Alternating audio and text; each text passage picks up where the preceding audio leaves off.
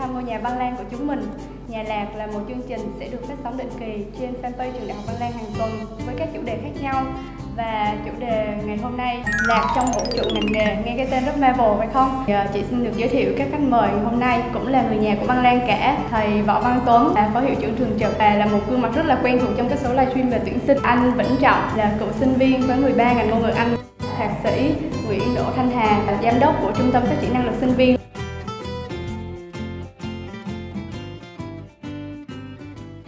Em đi uh, vòng vòng trong trường gặp các thầy cô và hỏi đúng hai câu hỏi đơn giản thôi.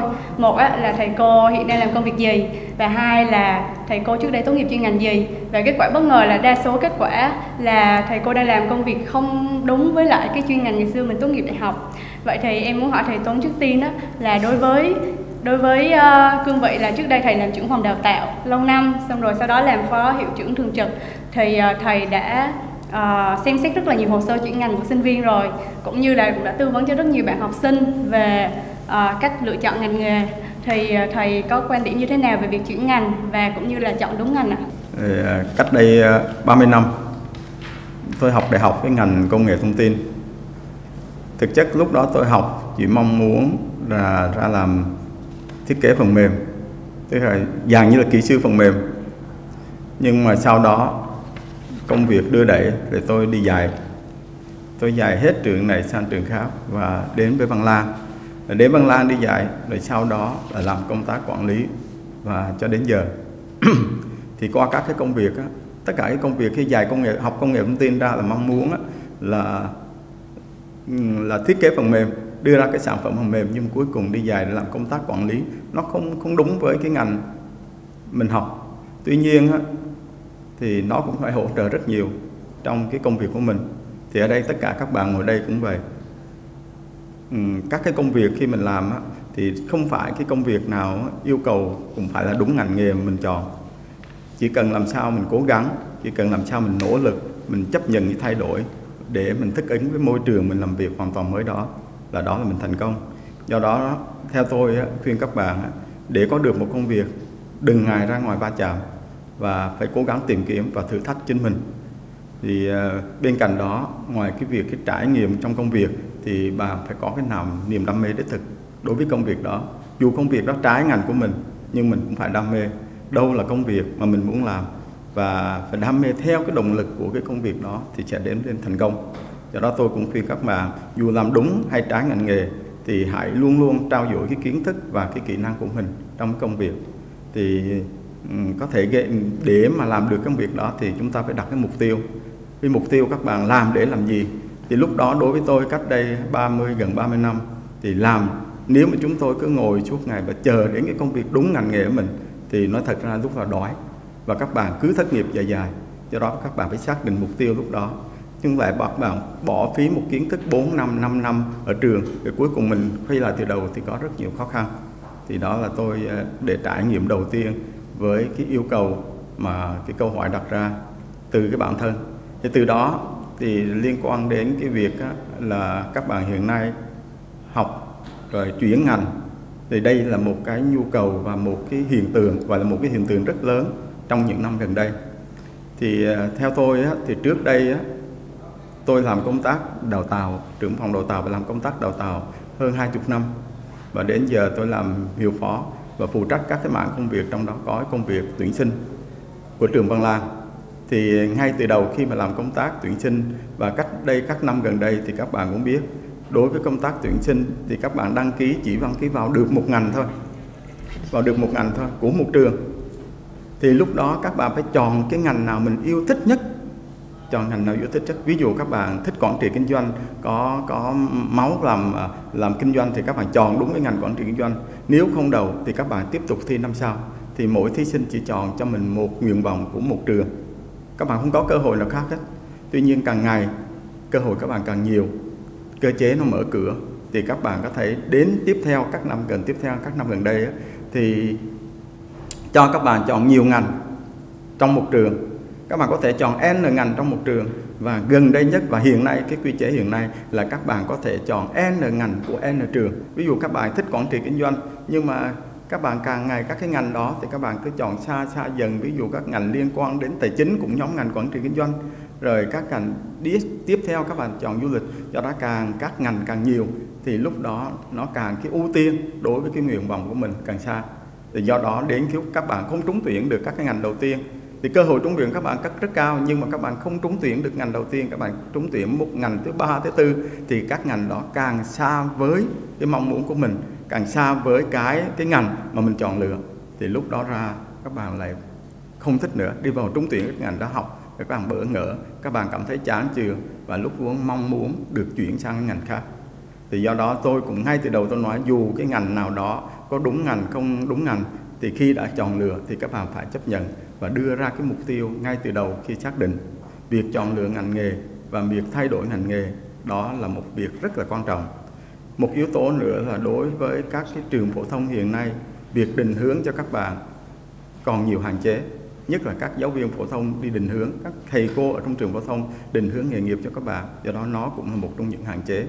Thì ở thành phố thì có nhiều trường thì được các trường đại học, các chuyên viên tư vấn các trường đại học đến định hướng thì làm công tác đó nghề nghiệp tốt hơn. Như trường phổ thông thì có các thầy cô không rành rõi trong công tác định hướng chỉ trong một thời gian ngắn thôi thì hạn chế rất nhiều trong vấn đề giúp cho các bạn định hướng nghề nghiệp. Thì đây là một trong những vấn đề lý do làm sao các bạn phải chuyển ngành ngay từ năm đầu tiên hoặc năm thứ hai. Đối với ờ, cái trường hợp mà học không đúng với cái nguyện vọng ban đầu của mình á, thì em nghĩ là anh Trọng cũng là một trường hợp như vậy.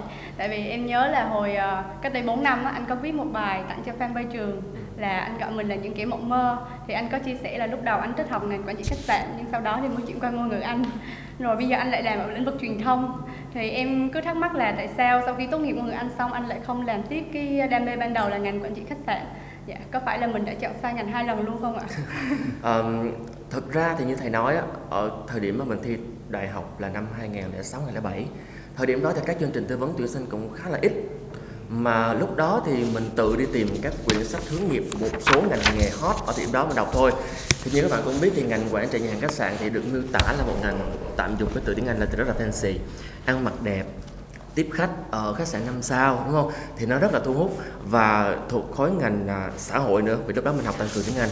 À, đúng điều kiện của mình thì mình cứ thi vào thôi nhưng mà bị trượt mất nửa điểm.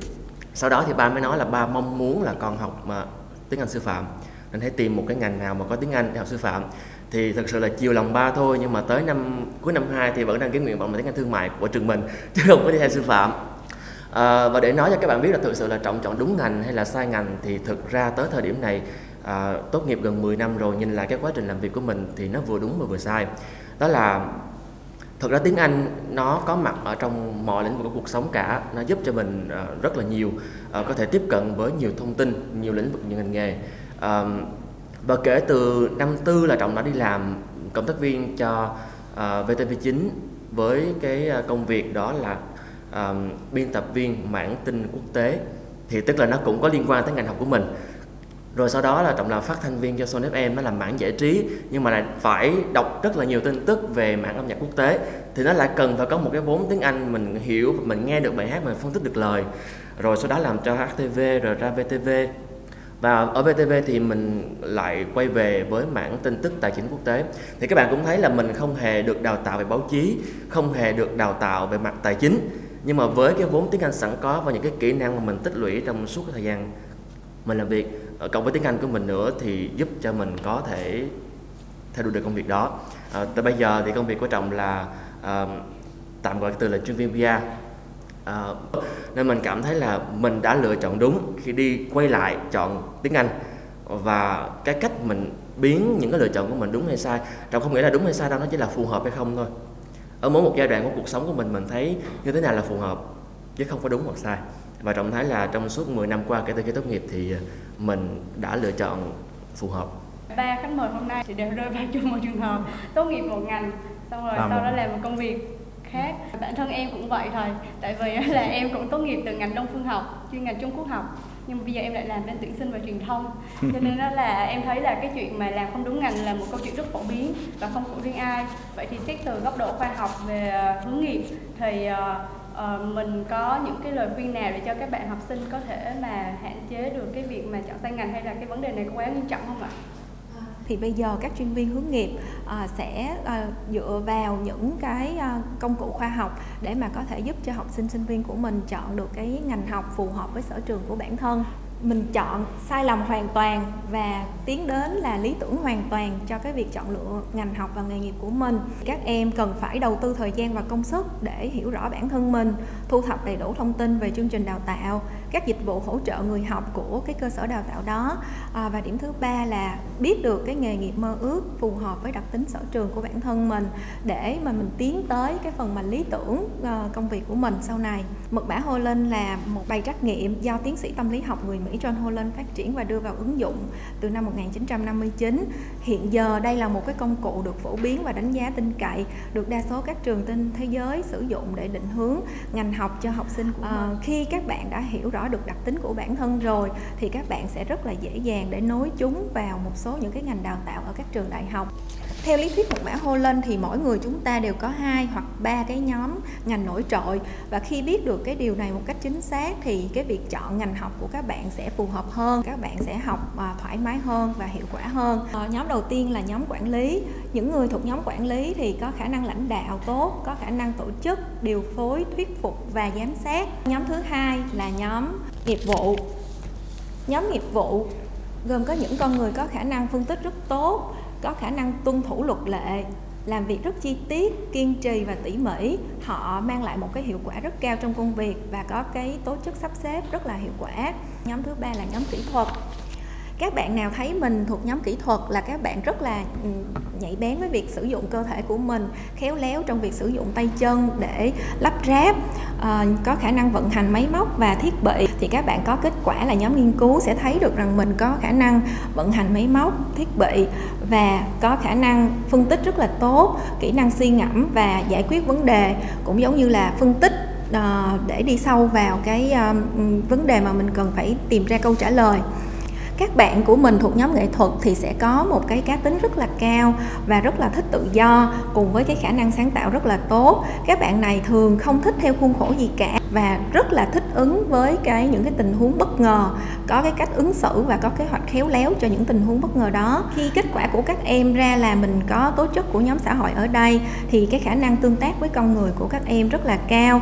Các em có khả năng quan tâm, giúp đỡ, chăm sóc những người xung quanh mình hướng dẫn và chia sẻ những thông tin đến những người xung quanh. Các em rất là nhạy bén với việc học tập với thông tin và đặc biệt là việc sử dụng ngôn ngữ và cả khả năng lắng nghe nữa. Thì trong mỗi chúng ta uh, ai cũng tồn tại ít nhất là hai đến ba cái nhóm hô lên nổi trội của mình. Uh, để xác định không có sai cái ngành mình học á, thì miễn là mình không bị động ngồi yên một chỗ để mà uh, đợi cơ hội tới với mình thì thay vì như vậy thì mình sẽ rất là chủ động trong cái chuyện tìm hiểu về bản thân mình uh, tìm hiểu về uh, những cái ngành đào tạo và những cái dịch vụ của các trường uh, cung cấp cho mình. Uh, và thứ ba nữa là tìm hiểu suy nghĩ về những cái ngành nghề phù hợp với đặc tính bản thân của mình. Tại vì lúc đầu giờ chương trình đó là thầy thầy Tuấn và anh Trọng cũng đã thực hiện à, trách nhiệm nghiệm rồi. Và em không biết là kết quả của mình như thế nào ạ? à? Thì ờ, kết quả thì rơi vào cái cái gần như là cái nhóm một nhóm hai là nhóm nghiệp vụ và quản lý. Thì đúng như vậy mình không có tố chất nghệ thuật mình cũng không có tổ chức nghiên cứu nhiều rồi ờ, xã hội mà tập trung vào cái nhóm ờ, một và nhóm hai. Thì cũng đúng theo cái tinh thần mà mình đang đang đang hướng đến hiện nay. Thì ngay từ cái nghề điệp ngay từ đầu á, thì hồi nãy tôi cũng chia sẻ các bạn biết là tôi đam mê về cái kỹ thuật. Đó và học cái công nghệ thông tin ra để thiết kế phần mềm tuy nhiên theo cái chiều hướng và cái mưu cầu như hiện nay hồi nãy chúng tôi chia sẻ thì cuối cùng thì theo trách nhiệm Holland lên thì đúng là chúng ta cá nhân tôi là rơi vào cái nhóm nghiệp vụ và quản lý thì cái này là một cái mà tôi thấy nó cũng xác đáng cho với những cái vấn đề trách nhiệm mà chúng ta cần liên quan. Dạ, còn kết quả của anh Trọng như thế nào ạ? À, thật ra thì có nhiều câu hỏi nhiều khi mình cũng phân vân lắm. Tôi thấy mình cũng một cái hai đáp án. Vì ở mỗi một thời điểm cái mình thấy mình cũng phù hợp với cái này thời điểm mình hợp với cái kia. Nhưng mà kết quả cuối cùng ra thì à, nó lại rơi vào nhóm xã hội thì đúng như là cô Hà có chia sẻ. Không chỉ là về trách nhiệm ngành nghề mà em thấy các bạn còn đặt câu hỏi luôn cả trang lĩnh chọn nữa về lĩnh vực truyền thông ạ. À. thì đây em đọc câu hỏi của hai bạn. Đầu tiên là bạn Vân Nguyễn. Bạn hỏi là em chào thầy cô em có câu hỏi đang thắc mắc. Đó là em thuộc nhóm 4 là xã hội và nhóm 6 là sắp xếp. Thì em có xu hướng là làm việc tốt hơn và tập trung hơn khi ở một mình. Làm việc nhóm cũng ổn nhưng mà năng suất sẽ không cao bằng. Vậy thì khi học ngành quan hệ công chúng với môi trường năng động và hướng ngoại thì có trở ngại gì không? Thứ hai nữa đó là bạn muốn hỏi anh Vĩnh Trọng đó là làm việc ở môi trường PR thì có bắt buộc là mình phải là người hướng ngoại không? Dạ câu hỏi thứ hai là của bạn Trâm Lê hỏi anh Vĩnh Trọng là bản thân em đang là sinh viên ngành ngôn ngữ Anh và cũng đam mê truyền thông như anh vậy cho em hỏi là khi anh chọn làm ngành truyền thông anh có gặp khó khăn gì không? Và nhờ anh chia sẻ kinh nghiệm. Những bạn hướng nội thì thường xuyên là thích ở một mình và cái cách tạo năng lượng của của người hướng nội là sẽ cần sự tĩnh tâm. Họ sẽ rất là thích đọc một cuốn sách hoặc là uh, nói chuyện với một người bạn rất thân để có thể lấy lại năng lượng. Và khi làm việc nhóm hoặc học ngành VR thì các bạn vẫn có thể theo theo đuổi được cái ngành nghề của mình. Tuy nhiên là khi mình biết được mình hướng nội như vậy thì mình sẽ dành nhiều thời gian hơn cho cái việc lấy lại năng lượng cho bản thân. À, thì đó là một vài những cái ờ, chia sẻ của cô để giúp cho bạn có thể tự lấy được năng lượng cho bản thân mình. Còn đi sâu vào MBTI thì những số sau của trường Văn Lan sẽ giúp cho bạn tìm hiểu rõ hơn. À, để trọng mà nói thêm một ý của cô Hà cái này đó là thực ra thì bây giờ các bạn có quá nhiều điều kiện các bạn có cái bài test này các bạn có bài test các bạn có thể tham khảo từ rất là nhiều nguồn và cái cơ hội nghề nghiệp cho các bạn cũng nhiều hơn ngày xưa rất là nhiều. À, và nói về cái câu chuyện mà chọn đúng ngành nghề hay không thì nó không phải là những cái băn khoăn của chúng ta khi mà tốt nghiệp cấp 3 và đại học đâu mà có những bạn tốt nghiệp rồi đi làm hai ba năm rồi chúng ta mới quay ra chúng thấy là đây có phải là công việc phù hợp với mình hay không? Thì ở mỗi một cái giai đoạn của cuộc sống của chúng ta đều phải tự trò chuyện với bản thân mình để hiểu bản thân mình nhiều hơn nhưng trong đó đó chỉ có cái sự phù hợp hay không thôi. Ở mỗi thời gian bản tính chúng ta thay đổi môi trường sống thay đổi điều kiện thay đổi thì mình sẽ có một cái cách nghĩ nó khác nhau. À, mà cái công việc lựa chọn có thể nói nó cũng như vậy. À, còn quay trở lại với câu hỏi của bạn đó, thì làm PR có cần phải hướng ngoại hay không? Thì thực ra công việc hiện tại của anh bây giờ là PR cao tức là anh làm việc với khách hàng là chủ yếu.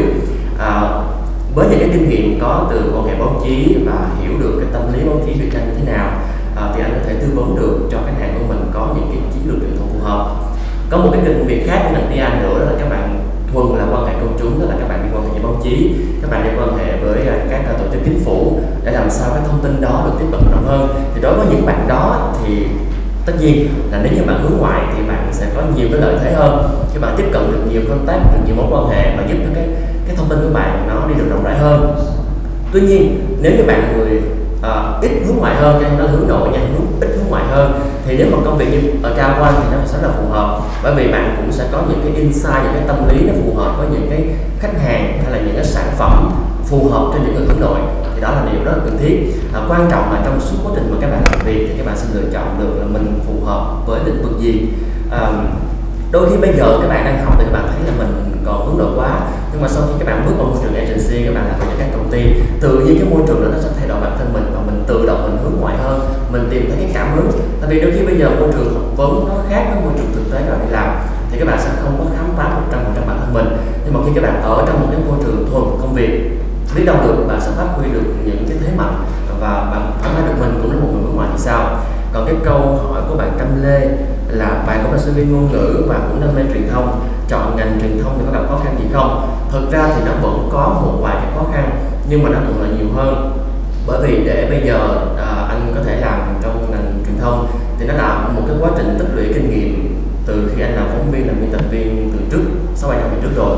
Thì mình tổng hợp rất nhiều những kỹ năng và kinh nghiệm để ngày hôm nay thì anh có thể làm công việc này và thấy tự tin về những cái kỹ năng và kiến thức mình có được. Tuy nhiên đó vẫn là một cái lĩnh vực hoàn toàn mới so với bảy tám năm anh làm về ngành báo chí. Cho nên thì vẫn phải học hỏi hàng ngày.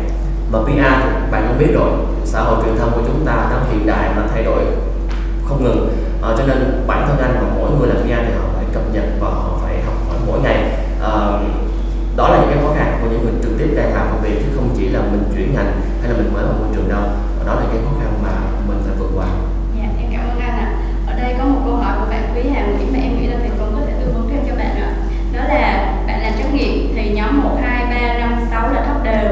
Chỉ có 5, 6 điểm thôi cao nhất là 8 nhưng mà chỉ có nhóm 4 là nhóm xã hội là 16 điểm tức là bạn rất là năng động.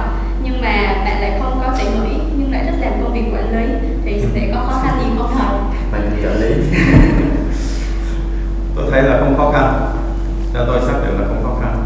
Tất cả các cái công việc và các cái, cái kỹ năng trong tố chất của một con người đều có thể hỗ trợ cho cái mục tiêu công việc của mình hết. Thì không khó khăn. Bất cứ công việc nào mà chúng ta làm thì đều là như trong cái kết quả Holland đó. Thì các bạn biết á, thì với bài test mà kết quả Holland đó mà chúng ta làm và chúng tôi đã làm thì mỗi người từng còn từ hai từ hai hai nhóm nghề nghiệp trở lên. Như vậy có thể khi chúng ta học một ngành nào đó rồi thì chúng ta vẫn có thể có tổ chức để làm một cái ngành khác và một cái ngành khác nữa thì cái này và từ từ, nếu chúng ta có niềm đam mê, nếu chúng ta xác định rõ cái mục tiêu, thì chúng ta vẫn đi đến đích. Do đó, theo tôi những cái công việc mà chúng ta làm khó ai có thể mà chọn một cái nghề đúng đúng cái mà mong muốn cuộc đời cũng phải như vậy chúng ta có rất nhiều ngã để chúng ta đi. Và vì thường bất cứ cái nghề nào cũng đòi hỏi một cái sự tổng hợp, rất nhiều cái khối kiến thức và cái kỹ năng khác nhau. Và các cái nhận thức đa dạng của nào cũng thể sẽ không thể đáp ứng đầy đủ được do đó theo tôi quan điểm rằng sự thành công của mỗi người. Không thể tính bằng việc họ làm đúng ngành đã học, hoặc là cái công việc mà được xác định mục tiêu trong nghề nghiệp. Thì à, rất nhiều sinh viên Văn lang của chúng ta cũng vậy, đã đi thành công. Đến đến hôm nay, ví dụ bạn đồng ở đây là một cái sinh viên Văn lang đã đi đến thành công, học một ngành, ra làm một ngành nhưng đã thành công. Thì hiện nay mỗi năm trường Văn lang theo thông lệ, theo quy định là phải có xét à, gọi là khảo sát tìm kết quả việc làm sau một năm. Thì sau một năm ờ, thì sau khi chúng tôi xác định là thì năm vừa rồi chẳng hạn thì có 95,02 sinh viên có việc làm. Thì trong đó hiện nay có gần 70 hơn 73 phần trăm sinh viên có việc làm đúng ngành nghề. Thì đây là cũng phản ánh nó cao hơn cái mức độ trung bình của xã hội khảo sát hiện nay. Ở ở xã hiện nay cái thành phố Hồ Chí Minh đó của chúng ta khi khảo sát việc làm trái ngành nghề thì khoảng là 60 phần trăm. Đó là các bạn cũng biết rồi là bây giờ uh, có những cái ngành nghề công việc mà được dự báo là mình nói hơi nó bị một chút xíu đi ha. Uh, người ta hay nói tới uh, quá trình chuyển đổi số rồi robot xuất hiện chẳng hạn. Nhưng mà khi mà robot chưa có đảm nhận nhiều công việc của con người thì bây giờ vẫn thấy có rất nhiều những ngành nghề mà trong trường không có dạy. Chẳng hạn như có những người bạn ở trong đây học cùng Văn Lan luôn học ngành du lịch. Nhưng mà các bạn ra đâu có làm nhà hàng khách sạn các bạn đâu có dẫn tour đâu. Tức là chúng ta có những cái nhóm ngành tức là um, một số cái công việc nổi trội của cái lĩnh vực, cái industry đó thôi. Mà bây giờ các bạn ra, các bạn làm wedding planner, hoặc là các bạn làm những cái ngành ngách của cái lĩnh vực đó, của cái đó, thì tất cả những cái kinh nghiệm và kiến thức của cái ngành mà các bạn có được lại cái nền tảng rất là tốt để giúp các bạn tự tìm hiểu. Và các bạn thích thì các bạn sẽ tự bổ sung thêm những cái kỹ năng, những kinh nghiệm và mối quan hệ để có thể làm được cái công việc mình yêu thích. Chứ còn bây giờ mà đòi hỏi 100% ra làm đúng cái ngành đó thì rất là khó. Làm sao mà chúng ta có thể đáp ứng được cái nhu cầu của thị trường mà như cái thời của trọng đi là các bạn rất hot ngành tài chính ngân hàng. Nhưng 4 năm sau là một cái thời đại đã thay đổi hoàn toàn rồi. Các bạn tốt nghiệp ra thì ngân hàng đã đầy người rồi nó còn chỗ nữa đâu. Mà có những ngành mới như là chẳng hạn như công nghệ blockchain thì trường nào mà dạy bây giờ, đúng không? Các bạn phải tự học, tự trau dồi. Thì với những kiến thức mà mình có thì nó chỉ là nền tảng thôi. Và bản thân mình thì vẫn phải tự so sánh là cái mình có cái xã hội cần và cái mình muốn coi ba cái đó nó gặp nhau ở chỗ nào hay không mình có thể cân đối hài hòa được chứ nhiều khi mình muốn nhưng mà mình không đáp ứng được mà mình cứ cố thì tất nhiên mà sẽ không hạnh phúc với lựa chọn đó rồi vậy là tóm lại là để thành công không phải là chọn đúng ngành yeah. đúng dạ. không nếu mà chọn đúng ngành thì khi đi đến mục tiêu đam mê thì làm nó tốt hơn trong công việc do đó thành công không phải là chọn đúng ngành yeah. Dạ. mà thành công là xác định được cái mục tiêu rõ ràng yeah dạ thì theo tôi như vậy. Và một điều mà tôi khuyên các bạn á, thì làm sao luôn luôn trau dồi kiến thức và kỹ năng mà trên cái con đường chúng ta đi đến cái mục tiêu đã chọn. Khi mình đã vừa có năng khiếu lại vừa có kiến thức thì cái đam mê của mình trở thành chắc chắn âm nhạc. Thì theo thầy thì từ ờ, trung học đại học sau đại học và đến bây giờ thầy thấy là nó tạo cho thầy nhiều hoạt động. Nó đúng với sở thích và nó giúp cho thầy phát triển nghề nghiệp cũng như là quản lý. Việc mà mình chọn được đúng cái ngành mình mong muốn á thì nó sẽ đem lại rất nhiều thuận lợi cho mình trong công việc cũng như là các cái dự kiện định mình sẽ muốn thực hiện trong tương lai của mình.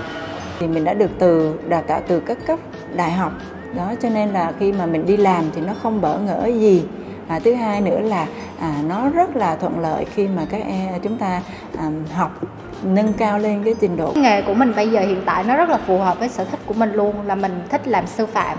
Do đó nên mình dạy ờ, mình đi dạy.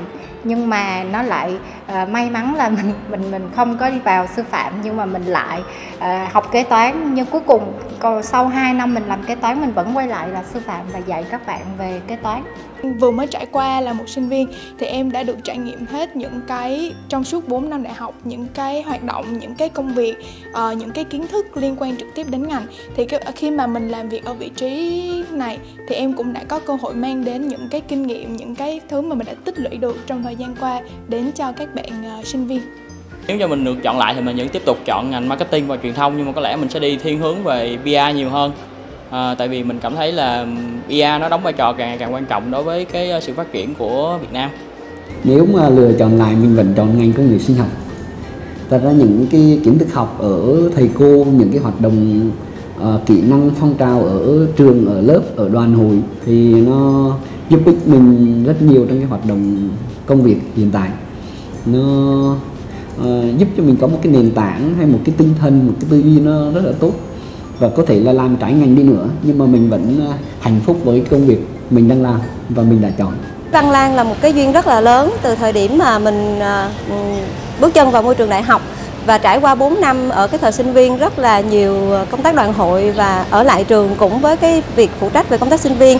Và đó là một cái quyết định lựa chọn và đúng đắn. Những kinh nghiệm thực tế từ các cái phong trào đoàn hội, từ những chương trình ngoại khóa và những kỹ năng mà các bạn có trong suốt 4 năm học đại học sẽ giúp ích cho bạn rất là nhiều và nó quyết định rất là nhiều trong việc thành công của bạn trong cái môi trường ờ, làm việc sau này dù là bạn học ở bất kỳ ngành nào và bạn làm ở bất kỳ lĩnh vực nào. Môi trường sống ở đại học sẽ quyết định bạn trở ra thành một người như thế nào. Nếu bạn học đại học có một môi trường năng động thì uh, theo mình nghĩ là ra khi mà các bạn đi làm các bạn cũng sẽ là một người năng động. Ờ, may mắn thì mình ở trong một cái khoa và khoa nó phát triển mạnh về các cái uh, những cái hoạt động sinh viên, nên từ đó mình có được khá là nhiều cái kỹ năng cũng như là kiến thức để mà khi bước vào ngành đó thì ờ, mình cũng có được một cái nền tảng khá là vững chắc. Và từ đó thì mình trau dồi thêm. Thì đến ngày hôm nay thì mặc dù làm trái ngành nhưng mình vẫn cảm thấy rất là happy với lại cái ngành này, cái công việc này. Còn nếu như chọn lại thì ờ, chắc chắn là chọn cái ngành nào đó nó bổ trợ nhiều hơn cho mình về cái nghề hiện tại à, hiện tại á, thì mình đang phụ trách một công việc là trái ngành với cái ngành học của mình. Tuy nhiên thì à, nếu như được chọn lựa lại thì mình cũng nghĩ là mình sẽ chọn ngành kỹ thuật môi trường tại vì đây cũng là một ngành học rất là thú vị nó cũng rèn luyện cho mình rất là nhiều kỹ năng mềm à, bổ trợ cho cuộc sống và cái công việc hiện tại của mình. À, khi mà mình học xong năm 3, năm tư thì mình vẫn là làm đúng với cái nghề nghiệp của mình đó là à, mình thiết kế Ờ, bối cảnh sân khấu cũng như là thiết kế đạo cụ. Tuy nhiên thì vẫn dính đến một cái công việc đó là bố trí và sắp xếp um, thời gian để mà tổ chức những cái chương trình những cái game show như vậy. Cái quãng thời sinh viên mà chị đi học và cho đến hiện tại chị có thể làm việc được ở nhiều nơi và có thể giao tiếp có thể tạo được nhiều mối quan hệ là một phần uh, nhờ mình tiếp xúc và tự mở lòng mình trong cái thời gian mà mình học đại học nếu cho chị một cơ hội nữa thì chị vẫn muốn trở về và muốn uh, học cái ngành uh, thiết kế công nghiệp của khoa mỹ thuật công nghiệp. Không phải là mình chọn được nghề nhiều mà nghề chọn mình. Đó là rất là nhiều nhiều đấy. Đó là trong quá trình tôi thấy nhận thấy ở trong cuộc sống xung quanh mình. Nhưng mà không có nghĩa là cái việc đại học không phút bất lợi. Khi mình học 4 năm đại học thì hai năm đầu hai năm đầu cái nền tảng đó là kiến thức nền tảng cái căn bản rất hữu ích.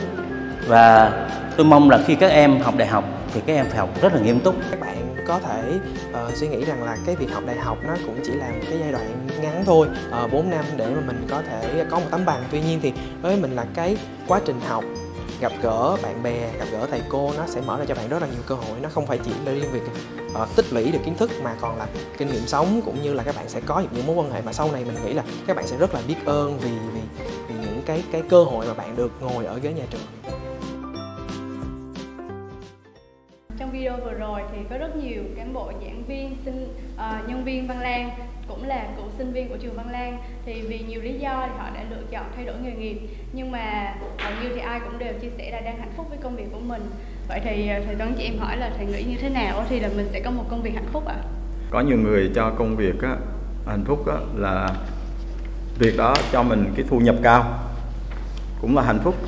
Mỗi tháng mỗi tháng kiếm rất nhiều tiền để phục vụ cho bản thân, phục vụ cho gia đình, phục vụ cho ngay cả xã hội, thì cũng có thể đó là cho là hạnh phúc. Có nhiều người ừ, làm hết việc này nhảy sang chuyển chọn cái công việc khác của một công ty khác, cứ mỗi lần nhảy việc như vậy thì cảm thấy hạnh phúc với công việc mới. Thì đó cũng là một cái điều mà đam mê là điều hạnh phúc trong công việc của người. Người ta không chiều tròn chấp nhận một cái môi trường làm việc, mà luôn luôn tìm một môi trường làm việc mới môi trường đó sáng tạo hơn, môi trường đó thích nghi hơn, môi trường đó nó cao hơn, vân vân. Cao đây là cao nhiều mặt, thì người ta cũng cảm thấy hạnh phúc. Rồi có nhiều người á, là hạnh phúc khi mà làm cái công việc đó, đem đến hạnh phúc cho người khác. Cũng là hạnh phúc. Thì là cái việc mình làm xong thấy ai cũng là vui, ai cũng được là là là trân trọng mình, thì cái đó là hạnh phúc. Rồi có nhiều người làm vì cảm thấy đam mê công việc đó. Dù không biết công việc đó như thế nào, nhưng mà làm xong thấy đam mê, thích thú và đúng với cái cái cái năng lực của mình đúng với kiến thức của mình và đúng với những cái trải nghiệm của mình thì cái đó là cái hạnh phúc vân vân.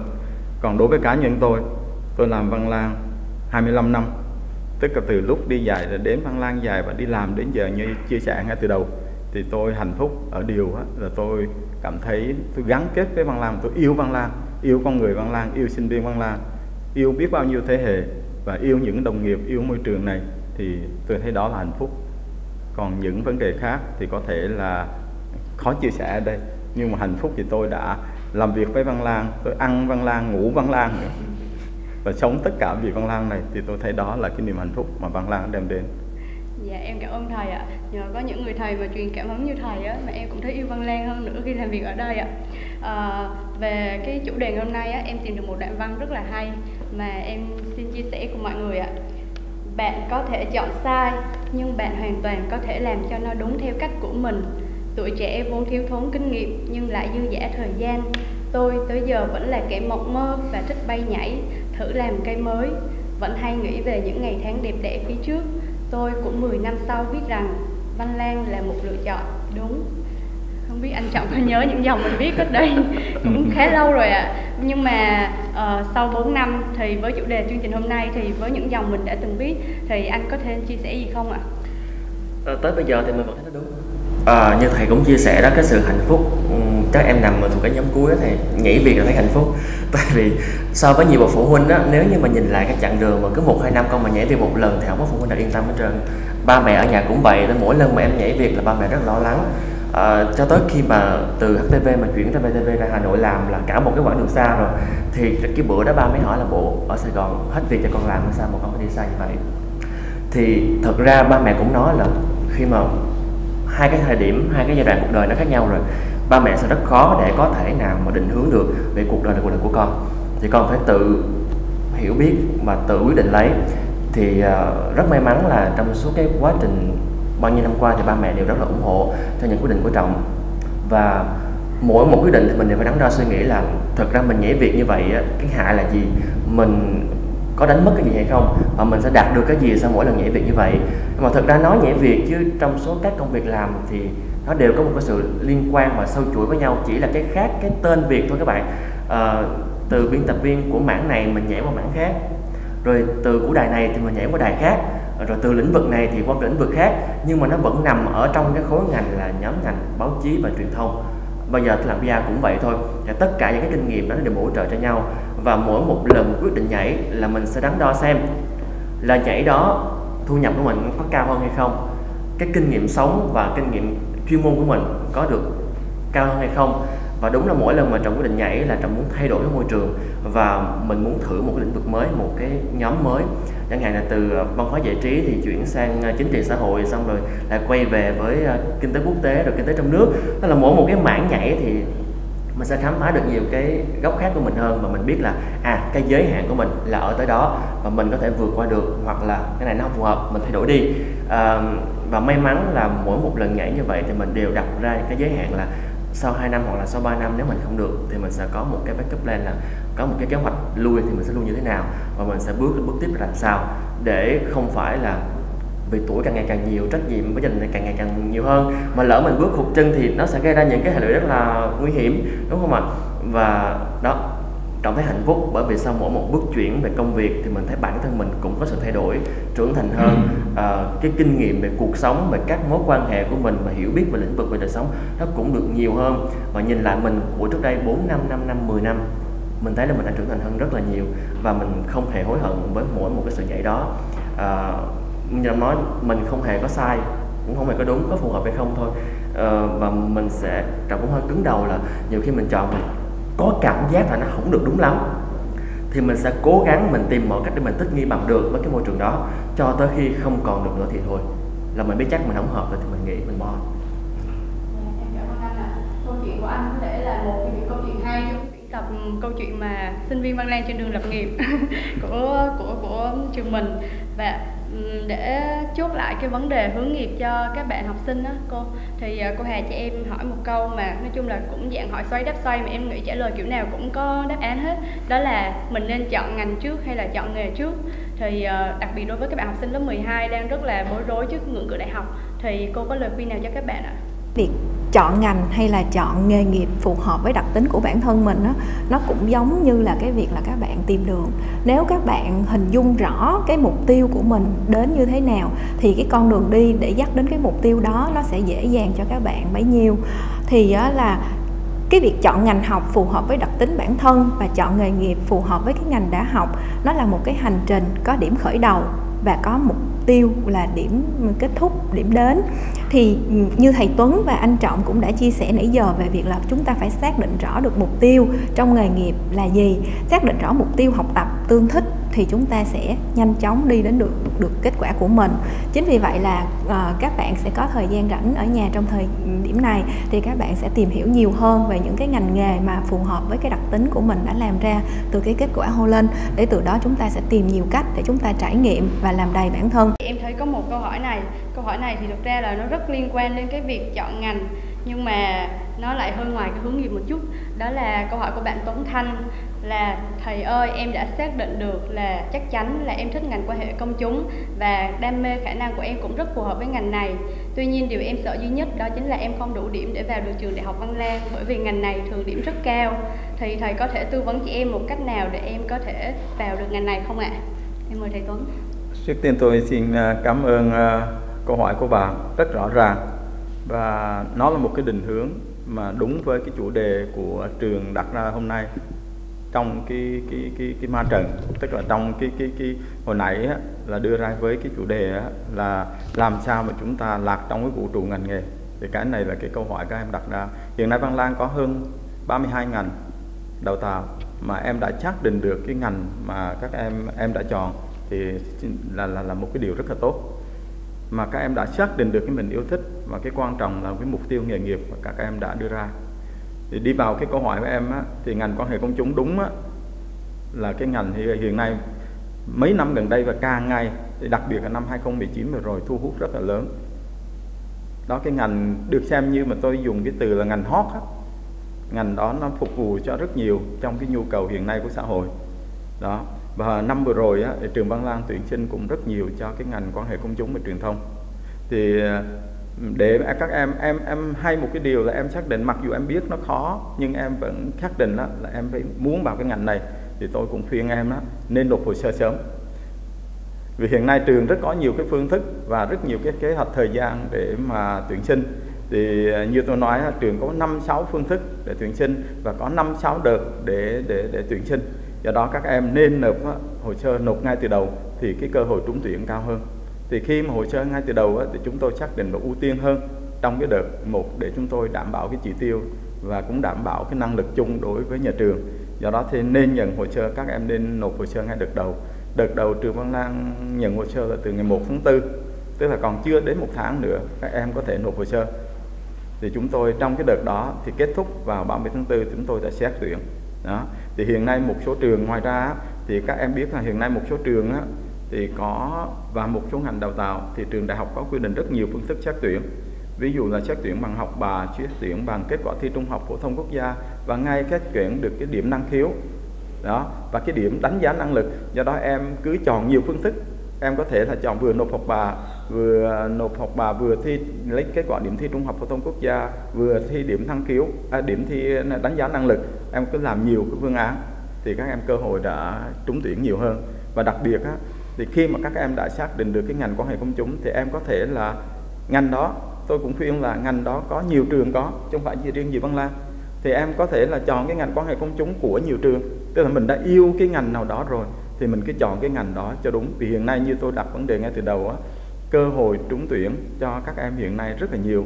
Em có thể là chọn n ngành của n trường. Thì ở đây em đã yêu cái ngành quan hệ công chúng thì em cứ chọn cái ngành quan hệ công chúng của n trường mà hiện nay đang có đó là cái cơ hội trúng tuyển của em rất cao và tôi với cái câu hỏi đặt ra tôi tin tưởng em sẽ trúng tuyển vào quan hệ công chúng Văn Lang dạ, Em cũng cảm ơn thầy Tuấn, anh Trọng và cô Hà đã dành thời gian để đến sông đất cho số 1 của chương trình Nhà Lạc. Hy vọng là các bạn sẽ đón xem uh, chủ đề livestream tuần sau của chúng ta và chào các tạm biệt các bạn.